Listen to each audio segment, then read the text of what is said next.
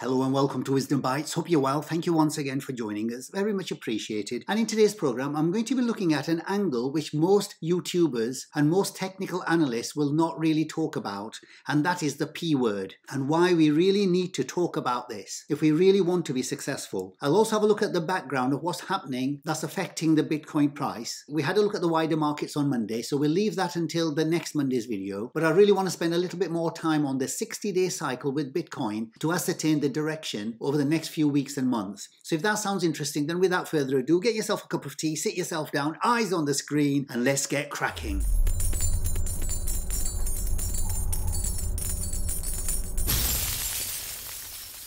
But before I begin, the usual polite reminder, please remember everything in my videos is just for educational purposes, so please always do your wider research before you make any investment decisions or any swing trade decisions. So the title of the video is Bitcoin, we really need to talk about this, and that is about the P word. Okay, so I'm going to start off with one of the most important aspects of investing, and it happens time and time again, and it has only been happening, would you believe, for about 250 years. And the background of all that is actually to do with this thing here called attitude. And if you watch my video on Monday, you'll know that I was talking about attitude. And this particular focus that I want to look at now today is all about attitude, about psychology, about the mindset, how we process information. And if you want to be successful in investing, in my experience over the last 30 to 40 years, is that if you don't get this right, nothing else will be right because this is what really adds value to people's investing skills. And before I focus on the actual word which I'm talking about, and that is actually patience, as mentioned in the introduction, I want to show you exactly how it manifests itself on the charts. So as we started with Bitcoin back here in 2009,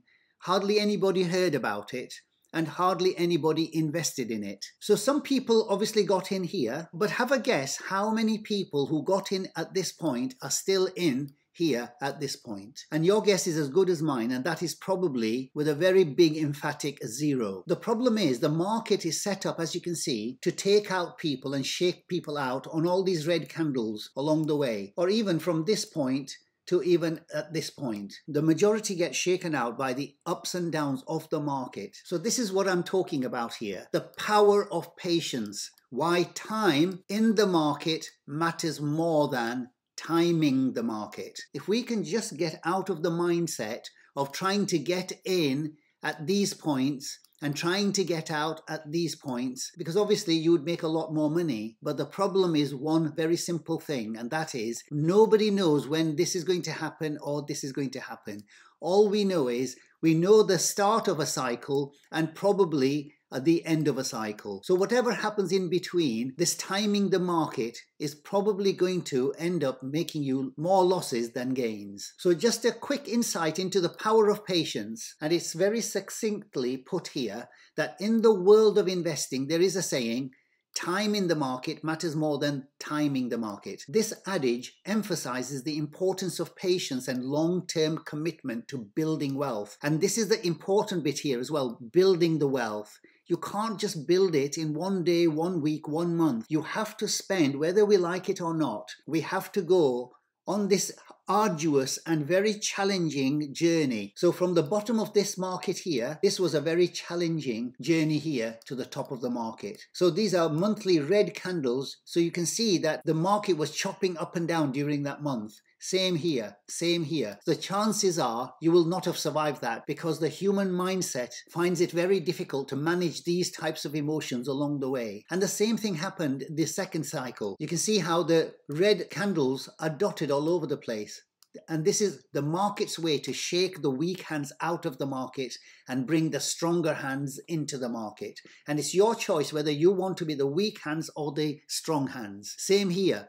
Look at the number of red candles. One more here, one more here. So on the way to the top of the market, you'll always see these red candles dotted about. These are the opportunities that the market has to shake you out. So when it starts, you'll see that they're always dotted around in between. You never get all green candles and they're always there in every cycle so far. So guess what's going to happen here? We've currently just had one red candle there last month. And between where we are going and where we are now, we're going to get one or two more and that's going to shake a lot of people out. And I want my members to realize that, that when we get those red candles Please don't be the ones that get shaken out. Until our indicators, the Bexit indicators, tell us to do otherwise, it's better to hold on and fasten your seatbelts and stay in your seat. If we want to learn from the history, this is telling us, this is one of the reasons why I show you this chart right at the beginning of every video because I want people to take a long-term view. This is not a space where you wake up in the morning and a Lamborghini is going to be parked outside. That's the kind of thing that you can only dream of, but those dreams are not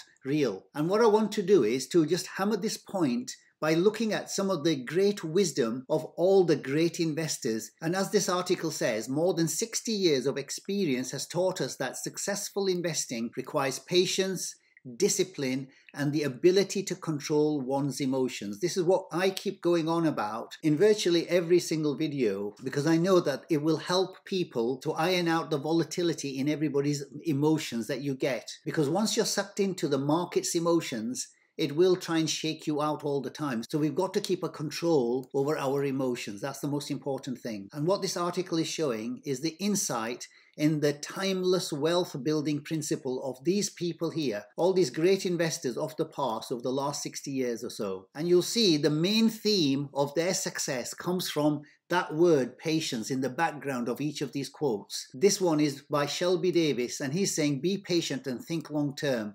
Invest for the long haul don't get too greedy and don't get too scared. As we've seen currently, the market's been going down, people are getting scared. They're going out of the market and they're losing the opportunity for the next 6 to 12 months to make life-changing amounts of money. Secondly, Charlie Munger, waiting. What is waiting? Patience, of course. So waiting helps you as an investor and a lot of people just can't stand to wait. It's difficult. It's not easy. Nobody says that patience is easy, but we have to learn. We have to manage our emotions, manage our patience. If you didn't get the deferred gratification gene, then you've got to work very hard to overcome that. And Warren Buffett, the stock market is a device to transfer money from the impatient to the patient. And I've shown you this quote many, many, many times if you've been watching my videos over the last few years. And if we move down further, it says here quite clearly the thing that everybody does. I'm sure there aren't many people who haven't done it. I've tried to do it in my investment journey many, many years ago, and I still get the urge to do this, and that is to try and time the market. Of course, we have to try and do that at the bottom of a bear market and get out at the top of the bull market, but you can never get the exact bottom and get the exact top. But once you've invested at the bottom of the bear market, you've really got to fasten your seatbelts and hold on tight until the end of the bull market. And as Peter Lynch says quite clearly, far more money has been lost by investors trying to anticipate corrections than lost in the corrections themselves. And finally, Christopher Davis here, though tempting, Trying to time the market is a loser's game. $10,000 continuously invested in the market over the past 20 years grew to $63,636. If you missed just the th best 30 days, your investment was reduced to 11,000. So you can see that any time spent out of the market in anticipation of timing the market, i.e., timing the corrections and timing the tops and timing the bottoms, more times than not, you will lose money. So I hope I've given that message. It's up to you whether you want to take it. It's your money, your decisions, your responsibility. Okay, so let's move on to looking at some of the things that are going on in the background of Bitcoin that will affect the Bitcoin price. And an interesting article came out by some analysts predicting the price of Bitcoin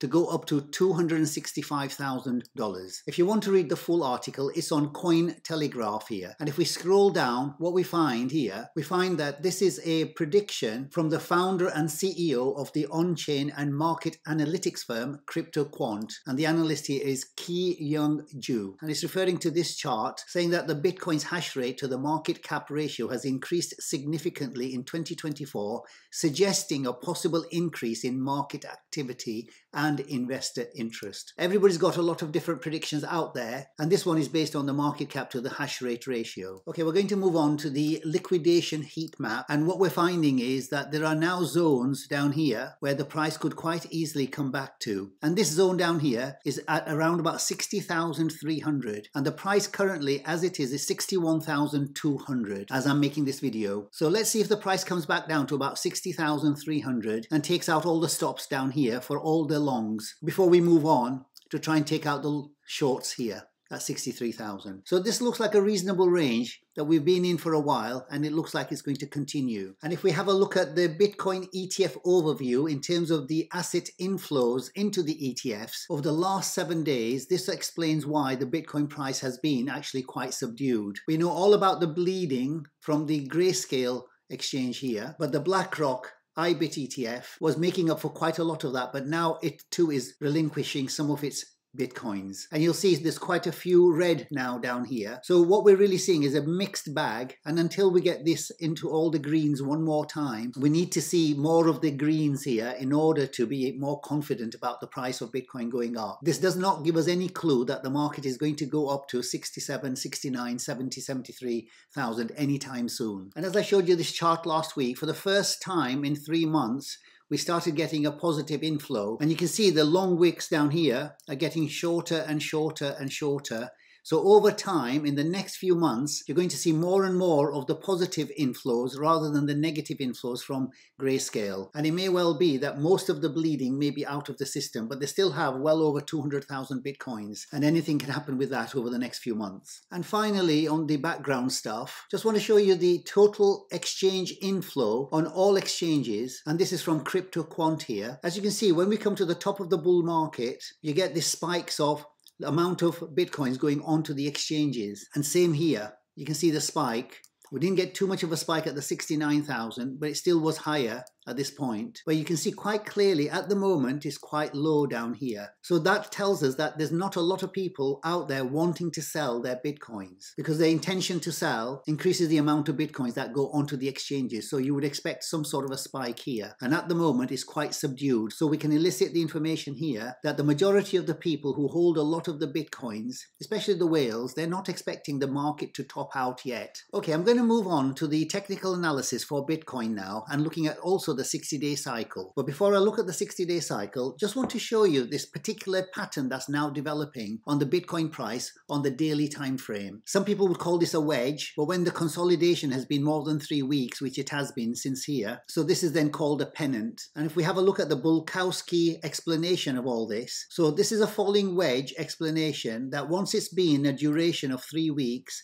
this is the minimum duration for a wedge. Otherwise, if it's more than that, it becomes a pennant. But the most important thing is here, if you can see that this downturn is showing it to break to the upside. And the breakout, as you can see here, can be in any direction, but is upward 68% of the time. So what we've got is a 68% to 32% probability going on here. So with that in mind, it looks like with a higher probability that somewhere down the line here, in this pattern that we've got, we've got a high here, a lower high and a lower high. So you can see the direction of travel is to the downside. And on the other side of the pennant here, we've got lower low, lower low and another lower low. So what we're doing now is we're coming back down further. And I've got this white box here drawn, which is really the 61.8 from this point here to the top that we've just been to and got rejected at around 65,000. So if we do a close-up of the Fibonacci retracement from the bottom here to the top, you can see that this white box is a 61.8 and this is the level I would normally expect it to come back down and that's around the 59.5 to 59.7. So that liquidation map I showed you earlier on would confirm that this is where it's likelihood to go in the next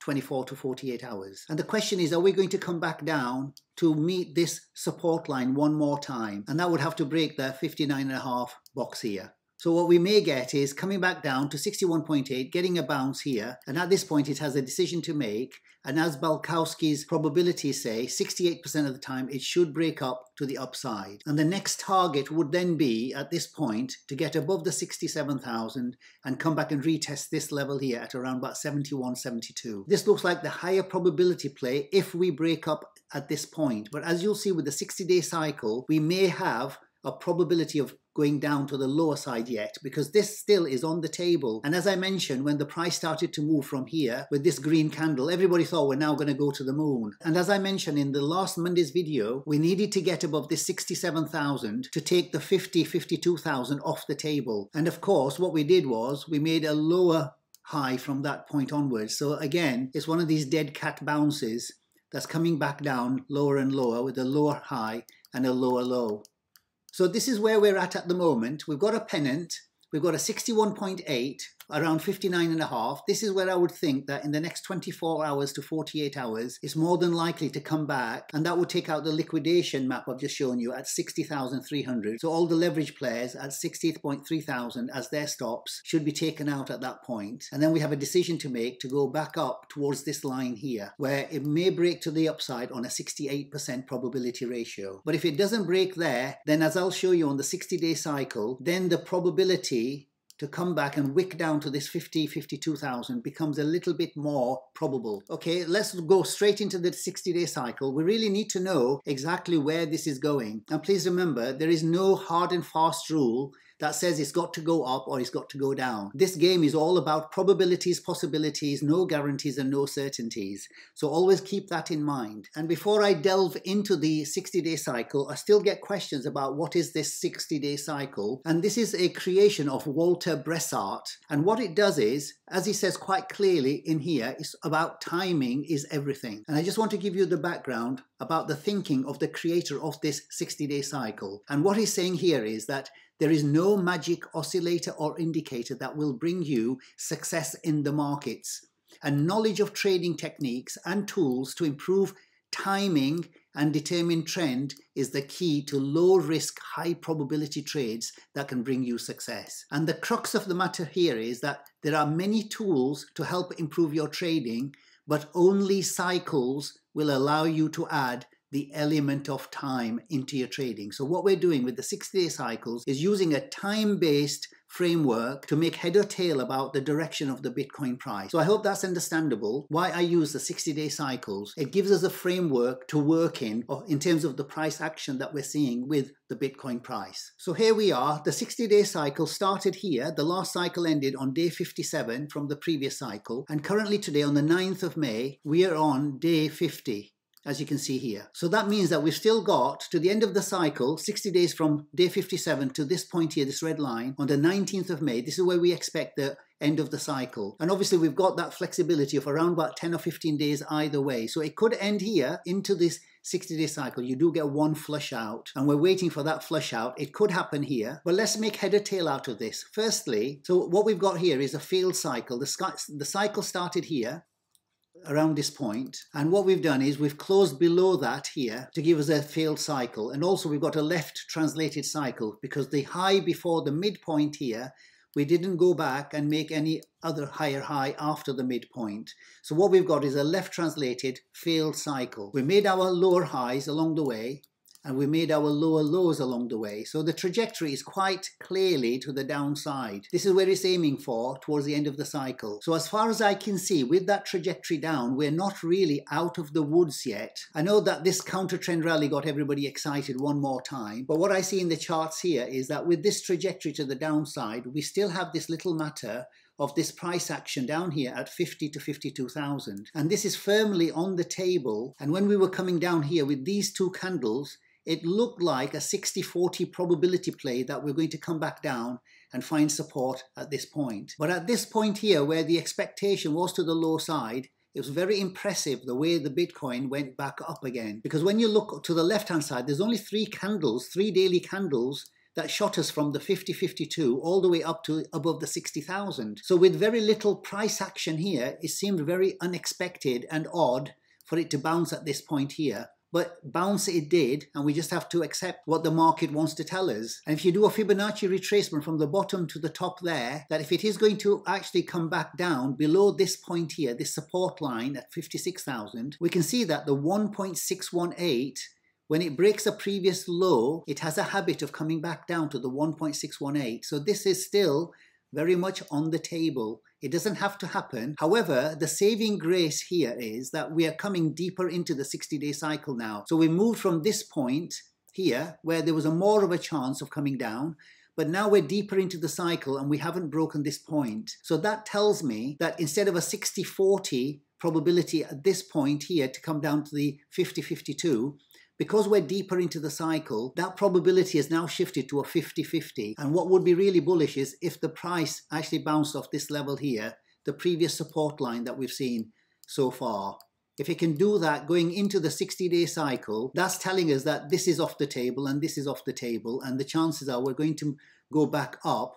Maybe not to break the top half here at the 73 74 but with everything else going on in the background on a balance of probabilities what i see in the next cycle is that we're going to be range bound between 60 and 70,000 so we could revisit these levels one more time. And this consolidation would really be quite bullish because it would put down a structure that would be very healthy for a big move to the upside over the coming two or three months. And when we look at the monthly chart, that's what it's really telling us when I look at some of the candlestick patterns developing. So, so far what we've got is that when we topped out here, we made a counter trend rally here, here, here, and here. So we've had four counter trend rallies and we may get another one over here before we dump down and maybe find support there or that's the point where we come back down to the 50. So this is where there are two greater probabilities happening if we break this structure down here at about the 60,000 mark. And so what's really happened is that these counter trend rallies are there to trap people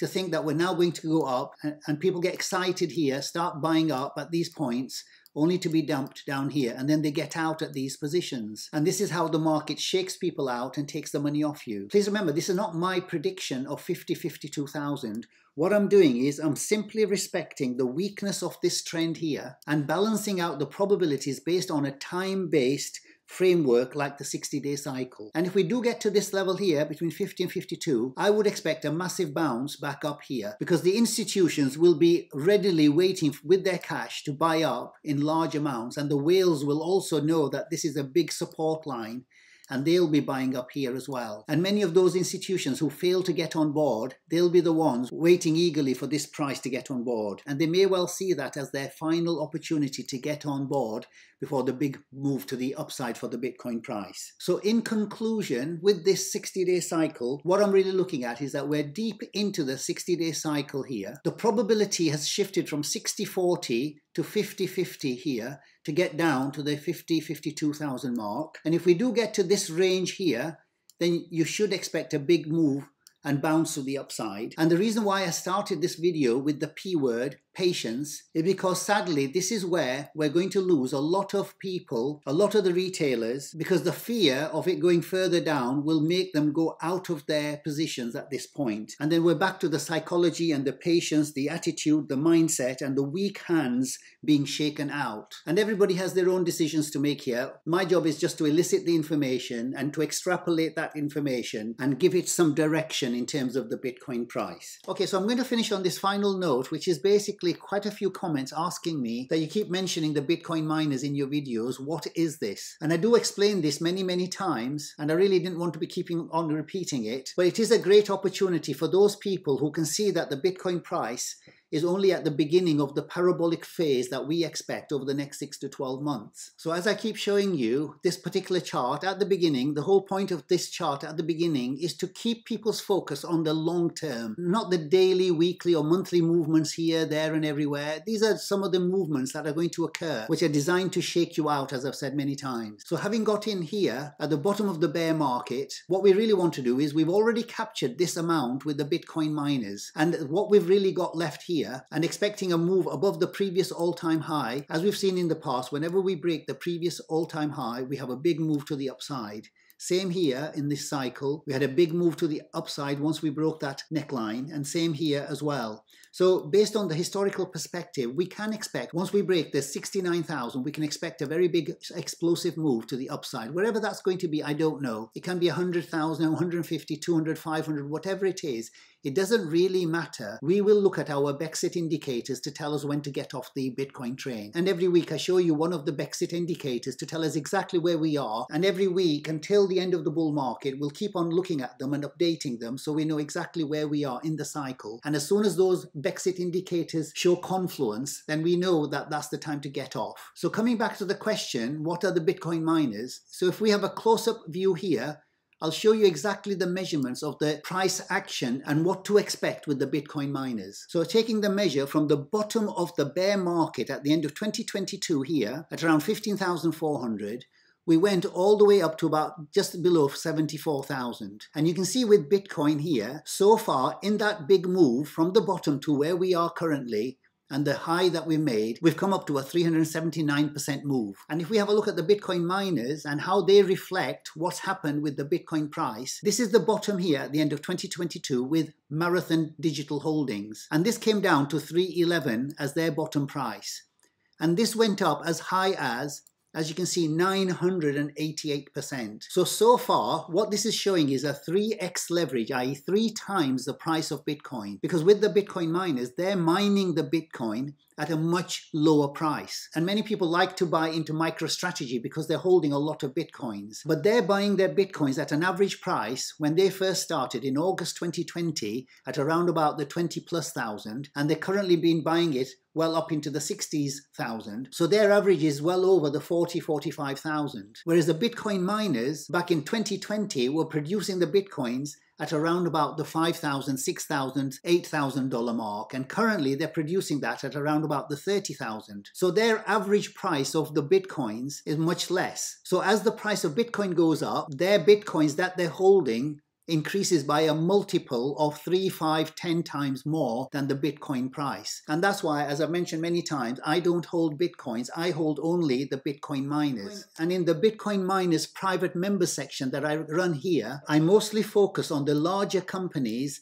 like Marathon, like CleanSpark, like Riot, and Cipher, etc. Because these are the companies that are holding the most amount of Bitcoin. So when the price of Bitcoin goes up, these are going to show quite a large exponential growth in their price. And how that manifests itself in terms of the price action, we can see quite clearly here in the last cycle with the marathon price, just after the halving, if you take the price from there, because this is exactly where we are currently at the halving. So this is a realistic look at what could possibly happen.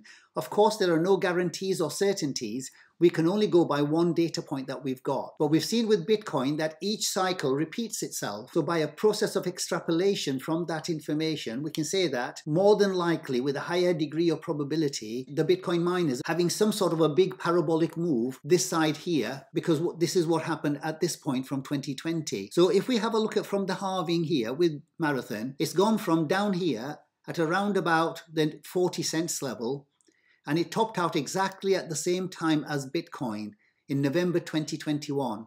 And that went up by 201x here. So while Bitcoin went up from the halving here, it was around about 8,000 and went up to 69,000. Bitcoin went up by 7x, while Marathon went up by 201x. Obviously, it had a much lower base of 40 cents, so it had a much greater impact. But just based on the tops of these candles here in the previous two cycles, if we extrapolate that line, we can expect some sort of a target price around here for marathon of around about $150 and at yesterday's close at around about $20 and what we can expect in this bull market based on a few indicators that are leading to this particular point at about $150 that would be a 6x. And of course, it can go much higher than that. So my expectation in this cycle is for the major miners to do a 5 or even maybe if Bitcoin really goes ballistic towards the 200 plus mark, we could get more than a 10x here. So this is what we do in the Bitcoin private member section. Just like Bitcoin has been a little bit subdued,